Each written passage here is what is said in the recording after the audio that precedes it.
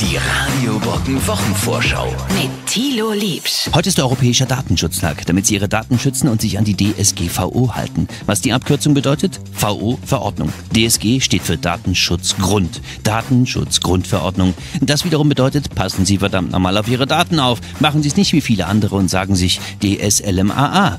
Datenschutz Leck mich am Arsch. Diese Woche auch gern wieder diskutiert der Brexit. Enge Vertraute von Theresa May haben durchsickern lassen, dass die britische Premier einen Ausstieg aus der EU ohne Vertrag ablehnt. Und wieder grüßt das Murmeltier. Während sich Mittwoch Verkehrsminister Scheuer und Bahnchef Lutz zu einem Krisentreffen zusammenfinden, zu dem sie möglichst mit dem Auto fahren, natürlich kein Diesel, hält Donald Trump vielleicht seine zweite Rede zur Lage der Nation. Die Haushaltssperre ist nur ausgesetzt in Amerika. Die Lage ist also beschissen. Gut, dazu braucht er nun wirklich keine Rede halten.